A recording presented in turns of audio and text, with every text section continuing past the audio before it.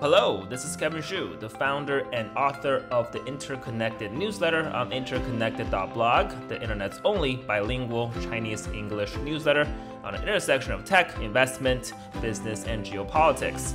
Today is another narration of one of our most recent publication, which is actually a translation of Zhang Yiming's last speech. For those of you who don't know him, Zhang Yiming is the founder and ex-CEO of ByteDance, which created TikTok, Douyin, among many other popular apps. He gave this speech at ByteDance's All Hands in March 2021, and in May, he stepped down as CEO, which makes this his last speech yet. And uh, I want to do this narration because the speech was one delivered in Chinese, and also there was no video or audio, I believe, of the original speech because it was a company meeting. And this is our unofficial English translation. And this reading is, of course, just my reading, not Zhang Yiming's reading of an English version of his speech. All right, with that preamble out of the way, let's get started. Introduction. Just like previous years, I would like to share with you what happened in the past year and some of my feelings about the company. These feelings come from life and work, and from communication with colleagues. First of all, a brief overview of the past year. Our overall business growth rate is still very fast, and we have made some breakthroughs in new directions. We have also done a lot of things in corporate social responsibility, including fighting against the pandemic. So, this is the inaugural year of our global CSR efforts. We hope that in the new year, we can continue to refine our business and continue to consider social responsibility as one of our business goals to serve society well. Last year was a very special year. With various emergencies, including the novel coronavirus pandemic, the resulting chain reaction was very volatile, and I believe we all felt it. Many people like to say that quiet years are good years, or 岁月静好. But in my opinion, the world is dynamically changing at an accelerated pace. We can see a lot of news every day, and it is very noisy. Therefore, I would like to talk about the topic of ordinary mind today. In the face of a dynamically changing world, we are often anxious, worried about the future, or upset about the past, and a lot of energy and time are wasted on facing volatilities. In the past, there were more discussions on methodology in the industry, and we all attached great importance to it. But I think that in such an environment, keeping an ordinary mind is something that sounds simple but important. I think people who keep an ordinary mind are more relaxed, have no internal distortions, observe things with a more nuanced perspective, and are practical and have more patience. They tend to get things done better. Most of the time, people are able to have good judgment without paranoia or distractions. There is a saying, 本自具足, which means it has always been complete and sufficient and lacking nothing. The theme of our anniversary this year is remain grounded, keep aiming high. My understanding is that these two sentences are similar in meaning. Only when the mind is smoother and more stable can it be more firmly rooted. And only then can it have the courage and imagination to do things that are more difficult to reach. When hungry, eat. When tired, sleep. When we discuss a topic, we first need to understand clearly what exactly is the topic. Because the concept is generally abstract, and since it is abstract, it is easy to have deviations. The word ordinary mind is a word of Buddhist origin, and there are many such words in Chinese, such as jingjin, or dedicating oneself to refinement or progress, and "想入非非," or daydreaming. The definition of ordinary mind in the encyclopedia is to remain unbiased and not paranoid under all circumstances and in all actions. In modern psychology, there are also some explanations that basically mean doing one's best, going with the flow, and staying calm.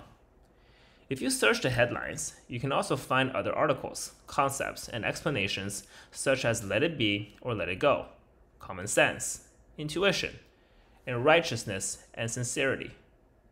For example, the saying 不离日用常行内 直到先天未化时, or the supreme principle is buried in one's mind, is actually about intuition or intuitive conscience. In an internet tech circle, there's also the popular saying return to the basics, seek truth through facts, and acceptance of uncertainty. If you use the most straightforward words, an ordinary mind is when hungry, eat, when tired, sleep. Everyone is ordinary. The first thing I would like to say about the ordinary mind is treat yourself with an ordinary mind. The most basic thing is to realize that everyone, including yourself, is an ordinary person. Some media want to add drama when they report on startups and people's stories, either by making the experience seem legendary or by dramatizing people's characters. When I used to be interviewed, people also wanted me to share twists and turns. I often said it was nothing special. In fact, most things, in my opinion, have reasons and justifications. Nothing is particularly that difficult or unusual to explain. It's really true. As our business has grown, I have gotten to know more and more people, including many very special and capable people. One of my own feelings is maybe there are some differences in knowledge and experience, but from a human point of view, we are still very similar to one another. We are all ordinary people. But there's one thing that is different. For people who achieve great things, they often maintain a very ordinary mentality. In other words, if you keep an ordinary mind, accept yourself as you are, and do well for yourself, you can often do things well. Ordinary people can do extraordinary things. Both expectations and labels are bondages. When you really care about the outcome, you are likely to play poorly. For example, when we shoot an arrow, we aim at the bullseye. But if you think, I'm going to get the 10th ring, it's not easy to play well. The same is true in work and life.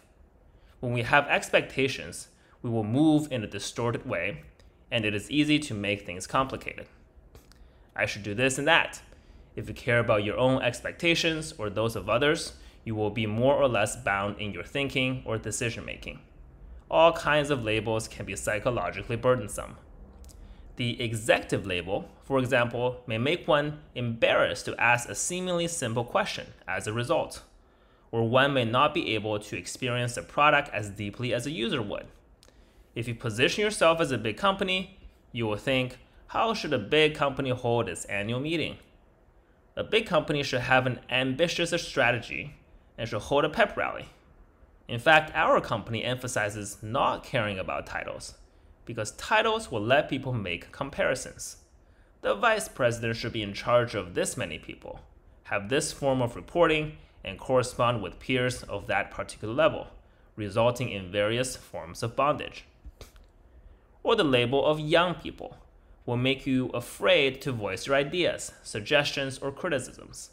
Labeling yourself as a front end engineer, and you feel no need to learn about machine learning when I was working at Kuxun, Kuxun is a Chinese travel tech company owned by Meituan, my engineering work was on the back end, but I got involved in the front end issues, product problems, and sales problems as well.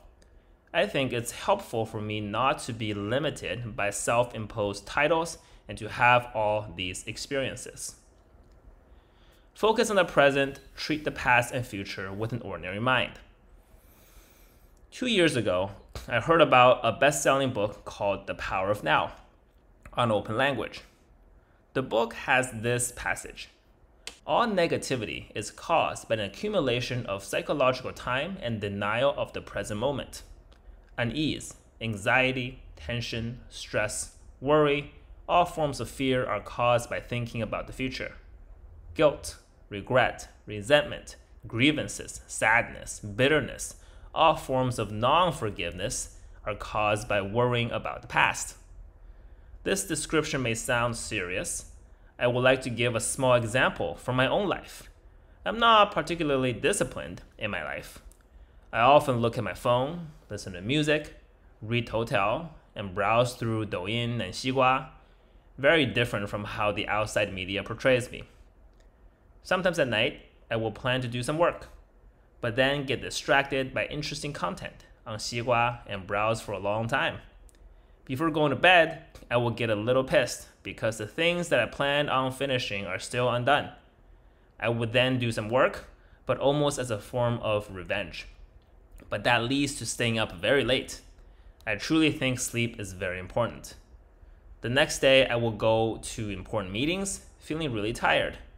During these times, what you should actually do is rest.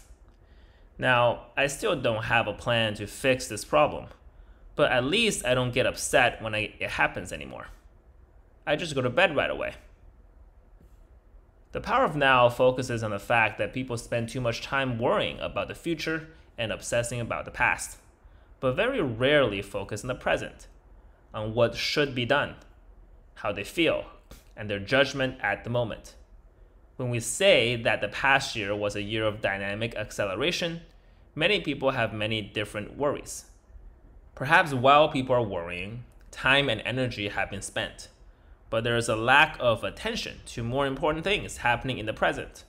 Or perhaps in feeling frustrated by the losses and mistakes made in the past, we miss new opportunities. Last year, when we faced challenges and crises, I always told everyone to stay calm, be patient.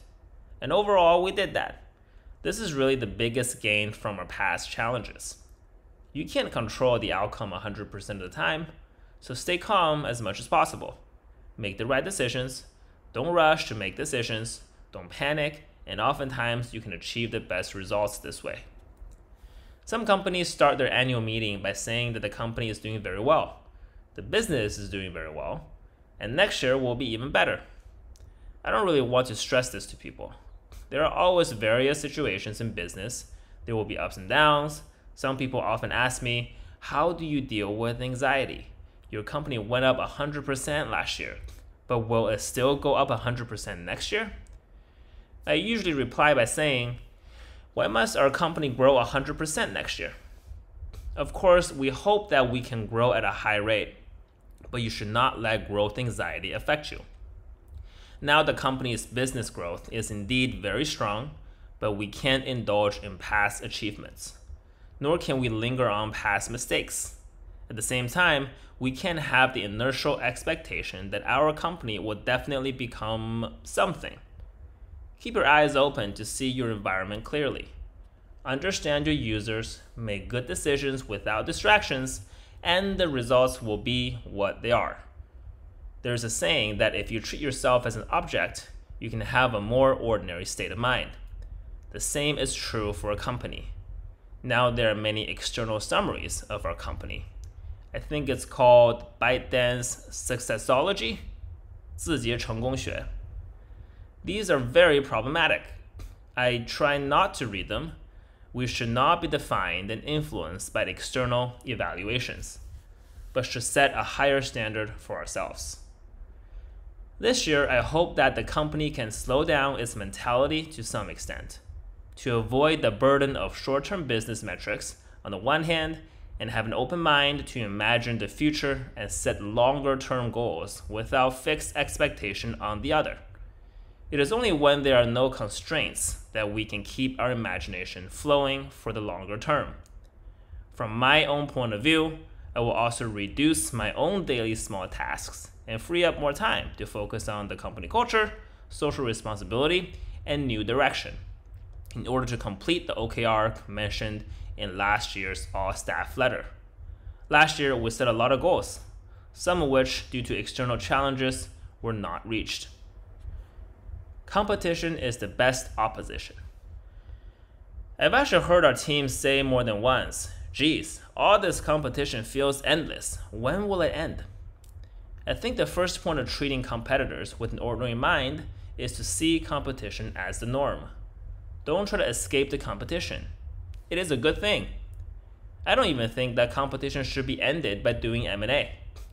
We see a lot of companies that eliminate their rivals through M&A, becoming complacent and end up slacking off.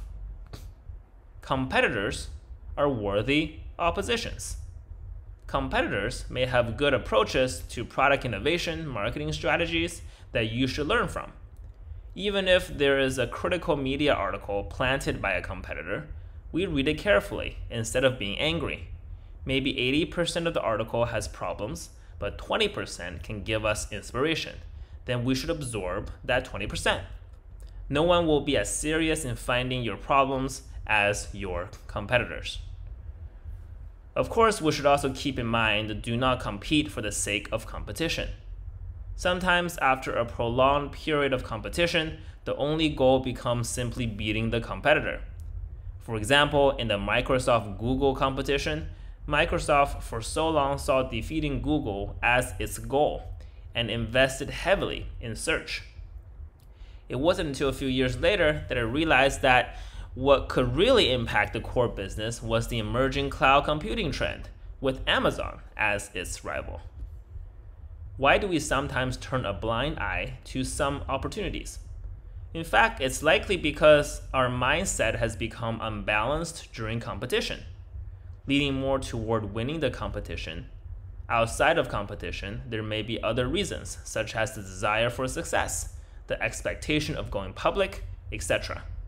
In the case of such unordinary mindset, when there's already paranoia and discrimination, the company may lose its eyesight.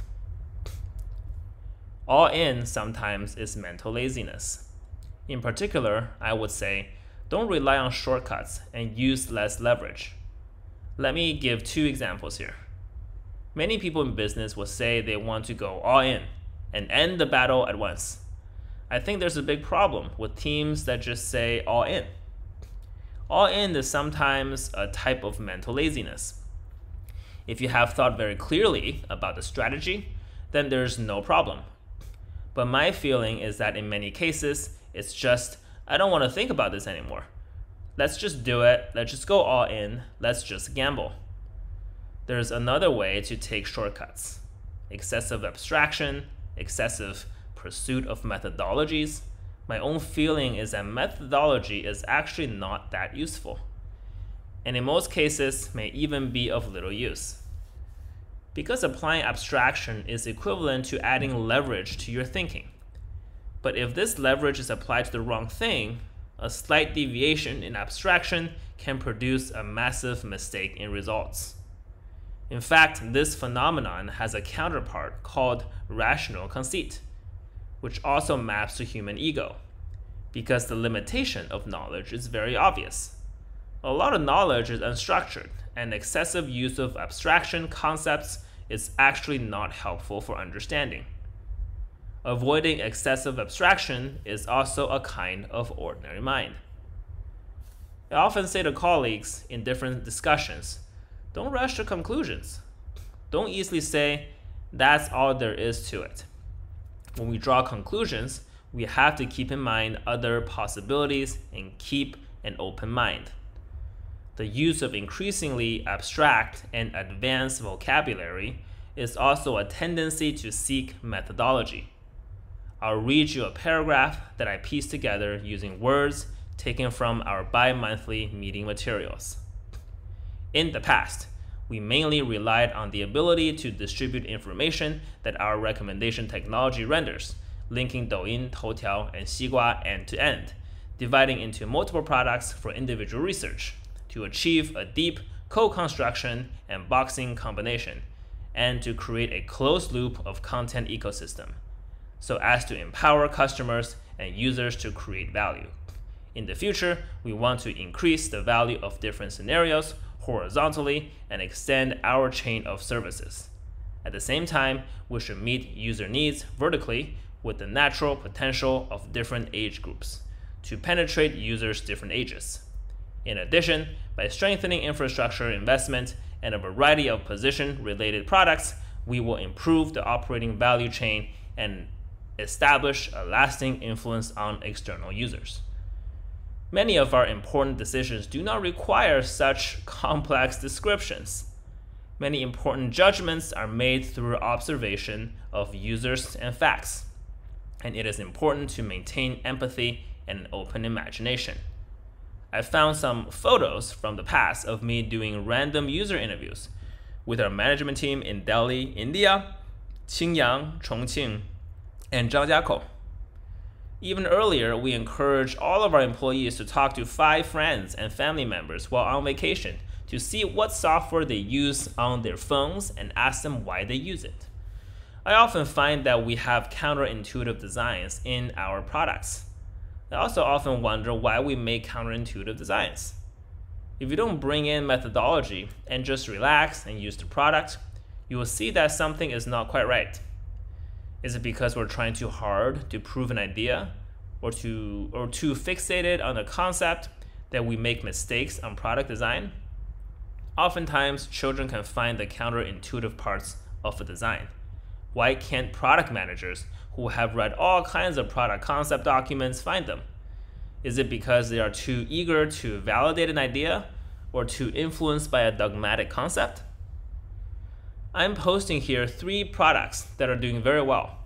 One is Google Earth. I often use it to learn geography. This product is great, but not profitable.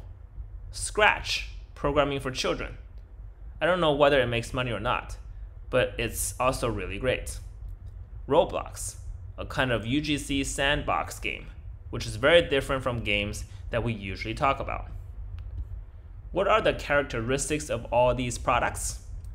First of all, they're very imaginative. Second, one has to be very patient and work on them for a very long time. I was thinking if our company could make a similar product. I'm not saying it's better to do things slowly. Speed is determined by the thing itself. But if the thing needs to be very imaginative, and if you've only been doing it for two years, meanwhile, there are a lot of people saying, geez, this won't work. Will these strong expectations from the outside affect our continuous investment? Don't confuse external reasons for internal ones. Don't mistake in luck for competency. One time during a discussion on business competition, I remember one team who said, Our rivals are growing fast again. Let's hurry up and do something about it. I said, in the beginning, when we were lagging behind our rivals, we thought of many ways to improve.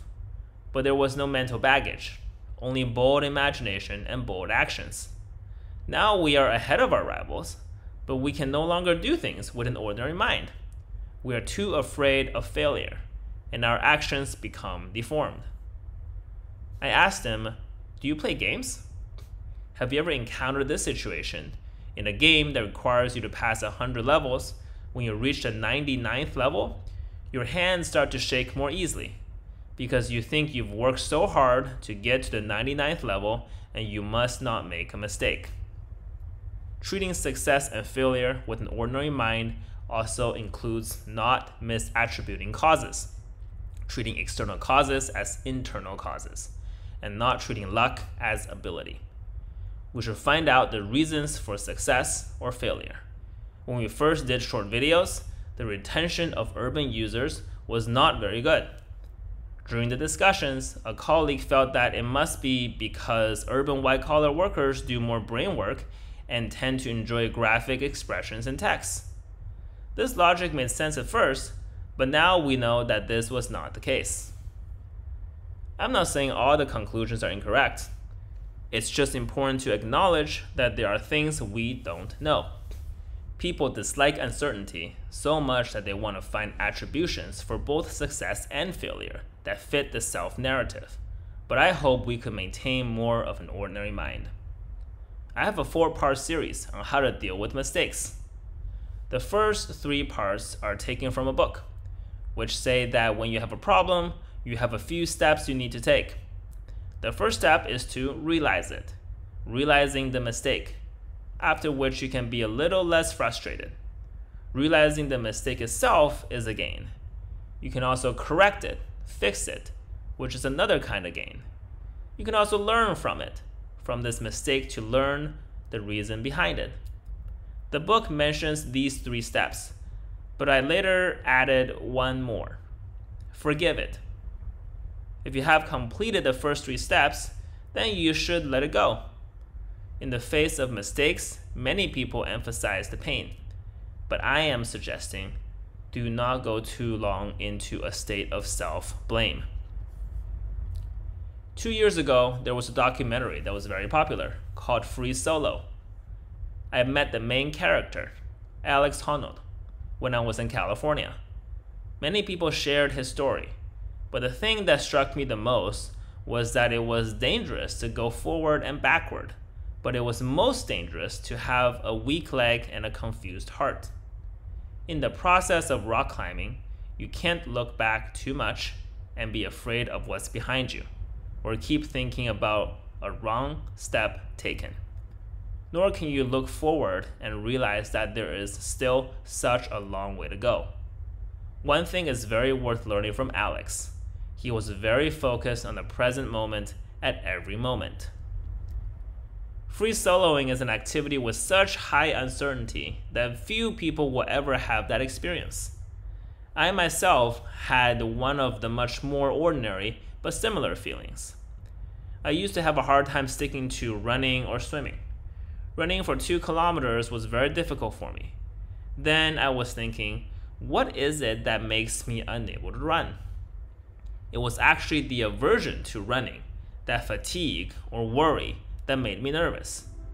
Later, I tried to run without thinking about anything else, except for the necessary adjustment of breathing. I tried to use only the necessary muscles, relax as much as possible, and ignore the interference of soreness. Then it became easy to run 3 kilometers, 4 kilometers. Later, I used the same method to practice swimming. Originally, I could only swim 500 meters, but now I can easily swim up to 1000 meters. Not because my physical ability has improved, but because I feel I have removed the attrition in the middle. I stopped worrying about whether I could finish the swim, whether I was well rested yesterday, or whether I was in good shape today, and was able to run better. I really like watching videos on Douyin of sailing in the ocean. I'm not saying that people's work or life is always really difficult, like crashing ocean waves. I just want to use it as an analogy for a state of mind. No matter what challenges and difficulties there are in work or personal life, these are external.